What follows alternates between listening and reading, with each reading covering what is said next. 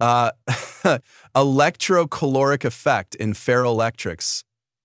Can electric how can flicking an electric field on a special crystal make it chill without compressors, refrigerants, or moving parts? The electrocaloric effect in ferroelectric materials promises just that a swift temperature change under an applied voltage, opening the door to solid state cooling technologies.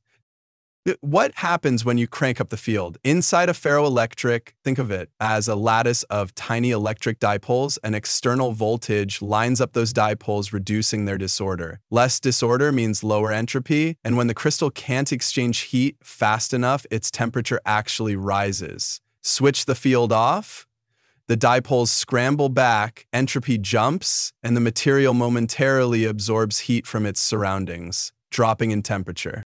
But how, how big is this temperature swing? Early experiments saw fractions of a degree, but today's thin films and multi-layer stacks can achieve several degrees Celsius in microseconds. That's because nanoscale engineering amplifies the field's influence on dipole alignment and lets heat flow in and out faster. What's going on at the atomic level? Ferroelectrics have a phase transition temperature, where their dipoles flip orientation. Near that threshold, even a small field toggle can trigger a large change in dipole order and thus a large heat exchange. It's like a flip switch for internal energy reservoirs, engineered to be razor sharp in response. Can, can this replace your fridge? In principle, yes. Solid state coolers using the electrocaloric effect would be silent, compact, and free of greenhouse gases. Challenges remain cycling voltages efficiently, managing heat flow in and out of tiny films, and finding materials that endure millions of on slash off pulses.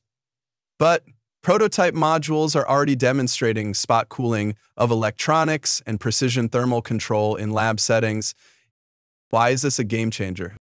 By tapping the same physics that makes ferroelectrics useful in sensors and actuators, we're turning them into microscopic heat engines.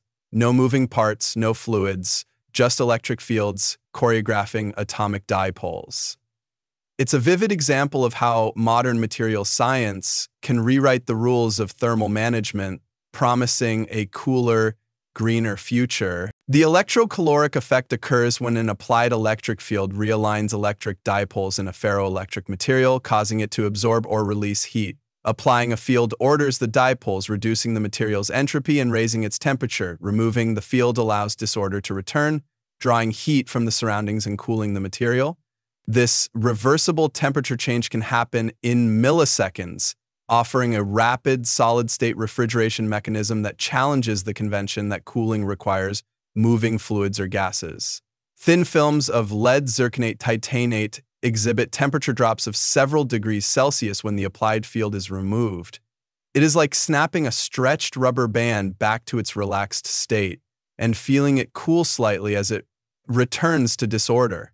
Traditional refrigerators use gas compression and expansion cycles relying on moving parts and refrigerants to transport heat, whereas electrocaloric cooling uses only electric fields to induce heat flow within a solid, eliminating mechanical compressors and coolant leaks. This solid state approach promises compact, vibration free devices with fewer environmental hazards. Understanding this distinction is key to envisioning future refrigeration technologies. Whereas a typical refrigerator uses a compressor motor and circulating refrigerant, an electrocaloric module might consist of layers of ceramic films and electrodes. It is like replacing a bulky fan and duct system with a thin window pane that chills a room when you flip a switch. In ferroelectrics, each unit cell contains a tiny electric dipole that can align with an external field. When the field is removed, the dipoles randomly reorient, increasing the material's configurational entropy and lowering its temperature by absorbing heat from the lattice. The speed of dipole flipping underlies the rapid cooling response. In barium titanate, applying and removing a kilovolt per millimeter field can drive dipole reorientation cycles that pump heat in and out of the crystal. It is like crowd members standing in formation when a conductor raises a baton, then scattering randomly to draw in fresh air and cool the hall. The key mechanism behind electrocaloric cooling is the change in entropy associated with ordering and disordering electric dipoles. Under an applied field, the system's entropy decreases and excess heat is expelled. Upon field removal, entropy rises, requiring heat absorption from the environment to restore equilibrium. This dynamic entropy exchange between material and surroundings produces net cooling. Um, calorimetric measurements on polymer-based ferroelectrics show heat flow into the sample upon field removal, indicative of entropy-driven cooling. It is like compressing and releasing a gas. When you suddenly let it expand, it cools, except here, the compression is ordering dipoles rather than squeezing uh, materials near their ferroelectric paraelectric transition temperature exhibit the largest electrocaloric responses because their dipole orientations are readily perturbed. At these critical temperatures, small field changes produce large entropy shifts, maximizing cooling per field change. Tuning the transition temperature through composition or strain engineering allows optimization for practical operating range. Relaxor ferroelectrics tuned to have transition temperatures near room temperature display peak cooling performance under moderate fields. It is like balancing at the top of a hill. Small nudges send you rolling quickly, whereas on flat ground, you barely move. Electrocaloric responses are inherently nonlinear. Doubling the field does not simply double the cooling because dipole alignment saturates and field ramp rates also matter. Very fast removal can produce larger transient cooling before thermal backflow restores equilibrium.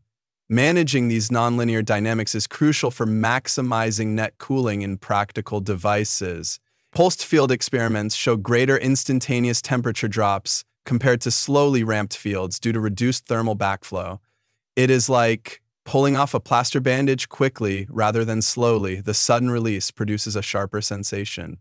Um, electrocaloric materials enable refrigerator designs with no moving parts, compact form factors, and potentially higher efficiency for small-scale cooling, offering solutions for cooling microelectronics, sensors, or even portable beverage chillers without compressors. Integrating stacks of thin film electrocaloric layers and heat exchangers can create practical, scalable cooling module. Prototype cooling chips using multi-layer electrocaloric ceramics have demonstrated cooling powers competitive with thermoelectric coolers. It is like developing a flat, silent cooler plate that you place under a laptop to dissipate heat instead of using noisy fans. Developing electrocaloric materials with large effects, low hysteresis, high field endurance, and long-term stability remains a challenge. Electrodes must withstand high electric fields without breakdown. Heat exchange elements must efficiently move heat in and out over rapid cycles, and scaling from thin films to bulk devices without significant performance loss is a key hurdle. Many high-performance ferroelectric films suffer fatigue after millions of field cycles reducing cooling capacity. It is like designing a rubber band that can be stretched and released a million times without losing its elasticity, a demanding materials feat. And advances in lead-free electrocaloric materials, flexible thin film processing, and nanoscale layering promise improved performance and environmental safety. Coupling electrocaloric modules with predictive control algorithms could optimize cooling cycles for dynamic loads. If successful, solid-state refrigeration could revolutionize fields ranging from medical storage to climate-controlled wearables. Research into polymer composites with embedded ferroelectric nanoparticles shows potential for bendable, conformal cooling skins. It is like inventing a cooling tattoo you can apply to electronics or even clothing discreetly managing heat at the flick of an electric switch.